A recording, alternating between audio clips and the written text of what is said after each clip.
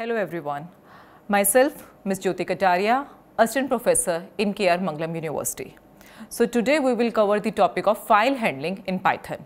In the previous classes, we did the recursion, we did the modules, but now today we'll do the file handling, which is also a very important part in Python programming. So now file handling basically the Python supports the file handling and it allows the user to handle the files in many different ways. The most important one are the read and the write. Read is to read a file and the write function is used to write inside the file. So now let us see that uh, working of the open function if we see then before performing any kind of the read or the write function we need to open the file first of all. So to open a file we need a open function that is the open function is required in that case. So the syntax will be over here that f is equal to open inside the braces you will enter you will enter file name and the mode mode in which mode you want to open the file you want to open in the write mode you want to open in the read mode so read mode is used when we want to read a file and the write mode is used when we have to write something inside a file so see, there are the certain modes which are present inside the file handling. The one is the R. When we write the R, then R represents, then we want to read the content inside the file. We want to read a file, we want to read all the details which are mentioned inside the file. So open an existing file for a read operation. For the read mode when we are using, then in that case a file must exist. If a file is existing, then only you can use a read function, then you can use a read mode and you can read the data which is present inside the file. When we are using the W, W is used for the write operation. So, open an existing file for a write operations that is we are opening a file and now we want to add something into it, we want to write something into it. Then in that case we will open it inside in the write mode that is the W mode. So, but in, this case if the file already contains some sort of the data then that data will be replaced with the new data whichever the new data you are going to write now the previous data will be erased and the new data will be replaced over here. So, if we are using the write mode then the previous data will be lost and the new data will be entered inside the file. Now, there is one more mode which is the append. For the append mode, we can use A. A also A specifies that it will open an existing file, whichever the file we are having along with us. We already we are already having a file and we want to add some sort of the data inside it. We want to append it. So in that case, we can open it with the A mode. So it will open an existing file for the append operation and it won't override the existing data. That is, the previous data will be stay over there and the new data will be added into it. Whatever the new data, if you want to add some new files, if you want to add some new content, then that content can be added into it. So, in that case, we can use the append mode. Now, R plus. R plus is a one more type of the mode in which we are using both things that is the read and write that is to read and write data inside the file. The previous data in the file will be again overwritten inside in this mode. Whatever the data was present in, in the previous case, that data will be overwritten with the new data. Now, if we are using the W plus, this is one more mode over here. In that case also it is used to read and write both the operations, but again it will override the existing data. Whatever the data we are having with us in the previous note, that data will be overwritten. So, with the new data, whatever you want to enter, you will simply, you are replacing the previous data with the new data.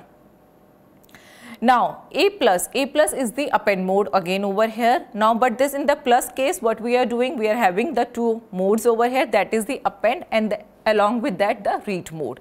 So, it will not override the previous data. Append mode always allows you to add the new data irrespective of deleting the previous data. Without deleting the previous data, it will simply add the new data inside it. So, with the help of this mode, you can do that part. So, now let us see a few of the programs and how these processings go on. So, if we are see everything whenever you are using we always use .csv file. So, whichever the file you have saved just try to save it with the .csv and then you can use the file over here in the file handling. So now if I want to open a file and I want to read the data, whatever, what is the data written inside that file, I want to read that particular data. So in that case, what I will do is, that is f is equal to, for example, f is a variable which I have used, I am saying is equal to open, that is open. What? Then over here we have to pass the path the particular path of your file, we have to pass the path of your file.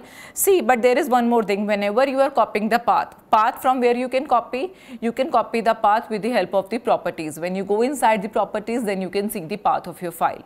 So, when once you copy the path over here, don't forget to use the double slash in the path generally there is only single slash is written. That is the format of uh, the path written in your files or in the settings. But when you are using that path over here that please use the double slash. So that is the this is the path of my file and now this, this is the name of the file name. At the end you can simply use the file name. This is my file employee.csv. That is the first path comma, then we use the mode, in which mode you want to open that particular file. So, I want to open this particular file in the R, R that is the read mode, I want to read a file. So, I am saying after this that print f dot read function. I am calling a function that is the read function and I am saying just print that print whatever the data you have uh, read from the particular file just print that data on the screen. So, this is the complete data that is the employee number, name, designation, designation and the salary. So, these are all the details of my employees which I have with me in that particular file. So, in a whole in a one way it simply fetch the data, simply read the data from the file and it has shown me the data on my screen screen. So, for that we use the read mode. Now, if I want to write something into my file, so in that case I will use the mode W, the write mode. So, see the write mode is used to write some data inside the file. If that file exists, the exist already, then it will simply overwrite the data or if the file does not exist, then it will create a new file in that case might be that I have just simply want to write something inside the inside my file, but I simply forgot to create a file. I don't have the name of that particular file in my system. Then in that case, it will create a new file and then it will start writing the data inside the file. So over here like this I have simply saying uh, said that f is equal to open again I will specify the path in double quotes comma then again in the double quotes I will mention the mode the mode of the file in which I want to perform the task. So, over here I want to write the data. So, I will simply say W. Then f dot write then in the write case I have simply given a string that this is a new file. If that file is not created then it will simply uh, create a new file and add the data or if that file was already created then it will overwrite with the previous data. It will delete the previous data and it will write the new data whichever I am entering right now. So, it is entering that write this is the new file one more line I have written that this file is created just now. So, these two lines I have created then after this I am using the close that after the write function once you write something inside the file then it is mandatory to close the file as well. So, for the close we need a function that is a close function. So, f dot close function I am using that is just simply close the file now. I have done my task now I can close this function. I can close this particular file. So, see this is a new employee one with the name of the employee one a new file is created and these are the two lines this is a new file this file is created just now. I have not used any slash n, so it is written in a one sequence. If I have used slash n, then it will be printed in the next line. So like this, I have created a new file. Now let's see what is the what is the meaning of the append mode. So in the append mode, as I've told you that we are adding the new data it is without deleting the previous data, I am adding a new sort of data inside it. I am just appending my file. I am just updating my file some sort of. So, this A mode is used to append. If the file exists, the new content will be appended at the end of the file. So, whenever we are using the append mode, then always the data will be added in the end of the file only. Fine. If the file does not exist, then a new file will be created in that case and then the data will be added inside the file. So, like this I am using that again I am opening a file f is equal to open I am giving a path comma, then now I am giving the mode A. So mode A is append mode. Then I am saying f dot write that write. Now the, over here I have used slash n. Slash n that is that will become in the new line. So this is a newly added file. Then again f dot close. So when I am doing this, see the employee one I have already created earlier. The previous one as you can see over here in the write mode, I have created the employee1.txt. So now over here again I am using the same file and I am using the append mode on that file. So employee1, it's in the employee1 it was written this is a new file. This file is created just now that was already the data inside my file. Now I am appending it. So I am saying slash n this is a newly added file. Just add a line with the slash n. So now in the next line it's added this is a newly added file. So like this we are using the append mode now let us see how can we use the read function over here. Basically when we are reading a file then there are different ways basically three different ways with the help of which we can read the data. Either you want to read the whole, either you want to read with a line or either you want to read all the lines. So you have all these three functions available with you. So for example I am saying first of all that is the read function. So what does it do? It will returns the read byte in the form of a string. Whatever the data is present inside the file, it will just simply read them in the form of a string and without any uh, without any limitation, it will simply read the whole file in a one go.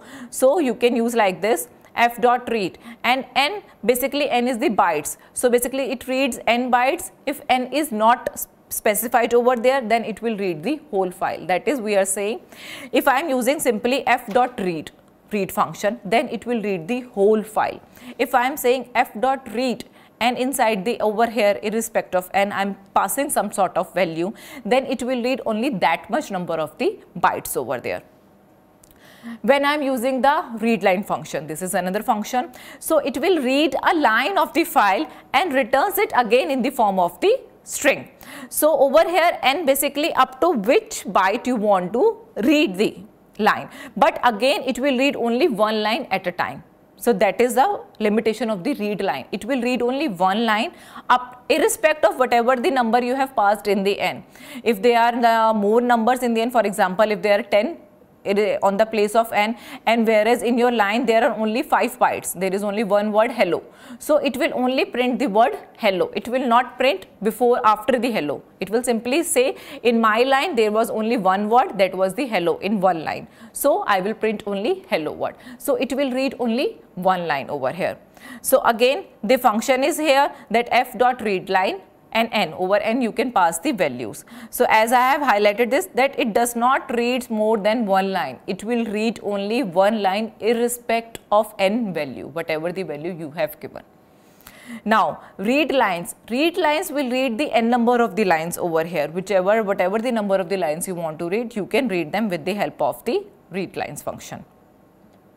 So let us see a function. In this program, basically I have used all these three types, read, read line and the read lines function. So now you can see what is the actual difference.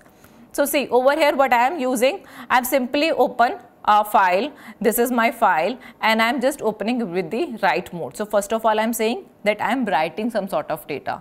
What is the data? This is my list. I have created a list L so inside the list there are three things. This is Delhi, this is Paris, this is London. So these are the three strings which I am passing over uh, uh, inside the list. And now when I am saying that uh, f dot write hello. So it what, it what it will do, it will simply write the word hello. Fine. Now I am saying f dot write lines.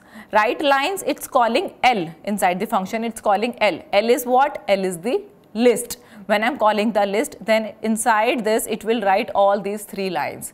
This is Delhi, this is Paris, this is London. So when I'm saying f dot write lines then it will write these three lines inside my file. After this again as I said that whenever you are using a write mode you need to close a file. So I am closing the file f dot close function. Now again I am opening one more file that is F1. Now I am saying that open my file, the previous file which I was uh, working on it earlier. So I am opening the same file, myfile.txt. But now I am using it with the R plus mode. R plus mode is the read and write mode. So now over here I am saying that print what it will print the output of the read function is. The first line is simple. In the double quotes i have mentioned the output of the read function is so it will directly print that. So when i'm using this then it has simply see over here in the output the output of the read function is simply written. Now print f1 dot read function f1 dot read function is what this is my f1 and now inside this f1 dot read function i am saying just read the function. Now over here see this is the complete way the when we are using the read function that read function will read all the data which is present inside the file. I have not specified any n bytes, I have not specified anything. As I said, see in the previous slide, I said when you are using the read function, then returns the read bytes in the form of a string. If n is not specified, then it will read the entire file. So, whatever is data present inside my file, it will read the entire file. So, in their file, I have written hello, this is Delhi, this is Paris, this is London. This was my whole file. So, it has read the whole file in one go. Now, after this I have used a print function that simply print this data. Now, I am saying f1.seek 0. So, why does we use this seek function? Seek and inside the bracket I am passing the value 0. The passing of value 0 is that please bring the pointer again on the starting phrase. So, it will just take your pointer to the starting point once again. That is, it takes the file handle to the nth byte from the beginning. So, this nth byte I am specifying is 0 that is the starting the beginning of the file just take the counter in the beginning of the file.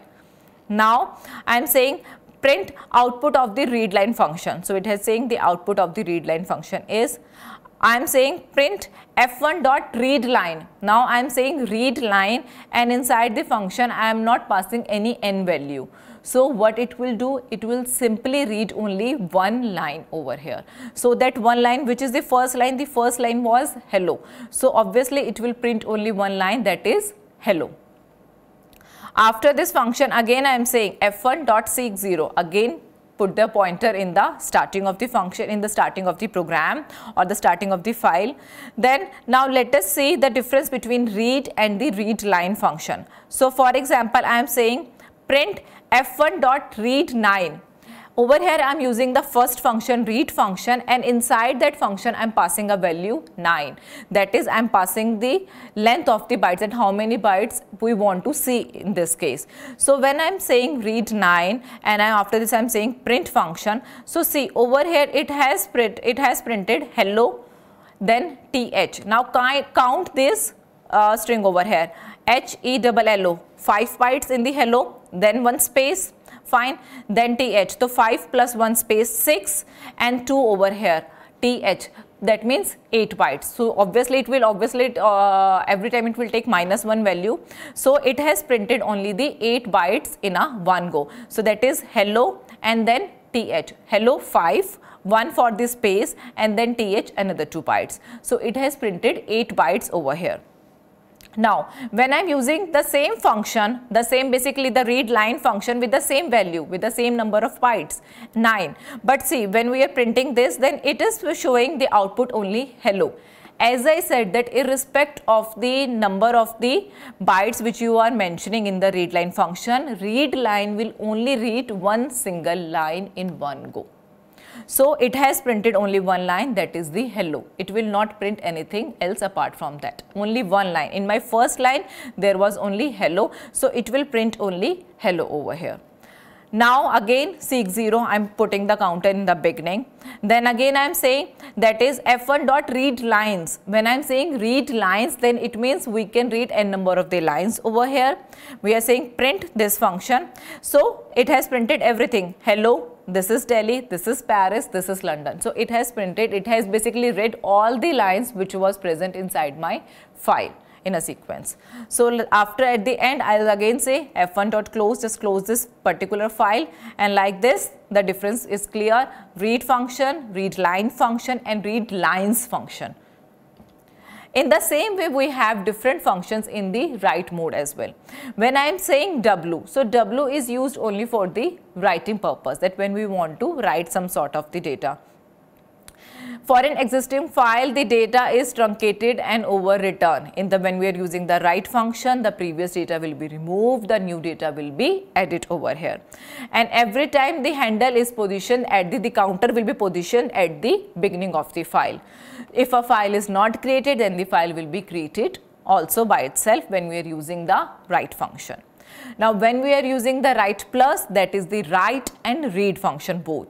So in that case the file will be open for both the task and for an existing file the data again will be overwritten in this case and if the file is not created it will create the file and the counter will be positioned in the beginning of the file append function it will append whatever the data is there. It will not delete the previous data but the counter will be positioned at the end of the file and the new data whatever you want to enter you can enter the data over there. So now let us see the write function boards. In the write function, this is the format basically f dot write whatever the data you want to write you can use it over you can write it over here. If we write to uh, if we write multiple lines if we want to write the different different lines over here then we can use this syntax f dot write lines. And inside L basically I have passed a list over here where my list was string 1 string 2 string 3 different different strings were there. So in a one go I can enter the multiple lines in my file in the same way, let us see one function, one program where we are using the write function over the write mode.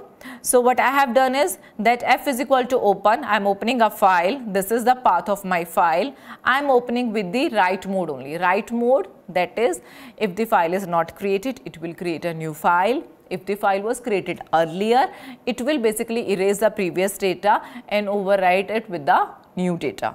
So over in the list I am passing basically there is a list which I have created this is Delhi, this is Paris, this is London and there is one more string which I am passing s is equal to that is the hello word. Now, when I am writing simply a string, I am saying f dot write and inside this function I am passing the value s. So, s was hello. So, inside this file, inside the file f, f the file was my file dot txt. So, inside this file f, it will simply write the word hello. When I am saying f dot write lines, then in the in the basically parameters I am passing the word I am passing a list that is the L. Inside the list there are three different strings. So it will write all these three strings inside my file. Then after this I am saying close this particular file. Now again I am opening this file in the read mode F1 the path passing the path and I'm passing, I'm just writing it, uh, I'm opening this file in the read mode. Then I'm saying print f1 dot read. Just read function. So read function what will what it will do? It will read the whole file in a one go. So when i'm saying this then it has written it basically read the whole file. Hello the first string which i have passed then the lines which i have written this is delhi this is paris this is london. So all these three lines in a one go. So it has read the whole file like this way now again let us see what is the use over here in the different modes. When I am saying for example over here I am creating one more. I am saying let us open one file f1 open this is my file in the write mode. I am passing the path. This is the list. This is Delhi this is Paris. Again the same line. Then I am saying f1 dot write lines. Write lines and I am passing the list L over here. So this list L contains these three strings. So, it will simply write these three strings into my file. I am closing my file. Now, I am appending in my file over here. So, again I am opening the file with the A that is the append mode. In the append mode, I am writing one single line. So, that is why I have used write only. I have not used write lines. I have used only write function over here. So, when I am saying write, then I have simply added only one word that is the today. Again, I have closed the particular file. Now again I am opening one file and I am saying this is for the R. R is for the read function. So now I am saying that file1 dot read that is read whatever the data is inside my file. So inside my file when I am saying that print the data, so it has given me the output. This is Delhi, the previously these three which I have passed over here. So it has printed all these three lines. Then in the append mode, I said do not erase the previous data, just simply add the new data. So I have added one data that is one word today. So it has added one that data uh, word at the end today over here. Like this so i have written the data. Now let us see when we do the overwrite see over here now again i have open a file with the write mode. What does the write mode do? Write mode will write the data but it will first of all erase the previous data and it will write the data the newly data whichever we are added. So it will overwrite with the previous data. So again i am saying that now write what simply one word that is tomorrow so now when I used again I am just calling the same file with the read mode and now when I am saying just read my file. Now what is the data inside my file? So it will show oh, there is only one word that is tomorrow. The previous data has been erased. It was replaced with only one word that is tomorrow the latest word with the latest data which we have entered. So like this way we can use the read function, read uh, basically the read function to read hold the data, write function to write one line, write lines when we want to add many lines over there. So like this we can use it. So thank you so much. Uh, in the next uh, in the next video we'll continue with the other task, uh, the other part in the Python programming. Thank you.